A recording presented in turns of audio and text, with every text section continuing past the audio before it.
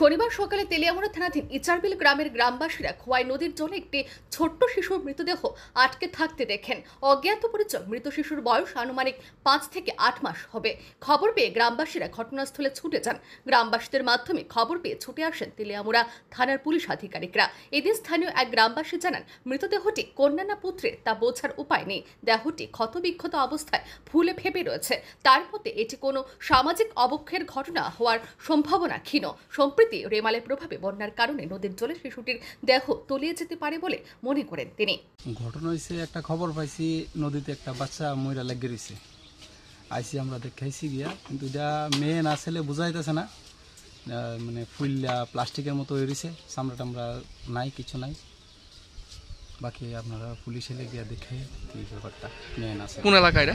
এটা ইচ্ছাবি তেলিয়ামরা ইচ্ছাবি এটা কি মনে করতেছেন? এটা কি মানে অন্য কিছু মানে অনেকের মানে পাপের ফল হিসেবে এরকম ফালাই রাখছে এরকম কিছু হতে পারে? না এমন হইতে পারে না। এটা মোটামুটি বড় দেখাতেছে বাচ্চাটা। বড় মেচিওর বেবি নাকি? প্রায় তিন চার মাসের বাচ্চা এরকম দেখা যাইতেছে। বড় প্রায় এক বছর বোঝা যাইতেছে বছর খানেক হইতে পারে এরকম বোঝা যাইতেছে।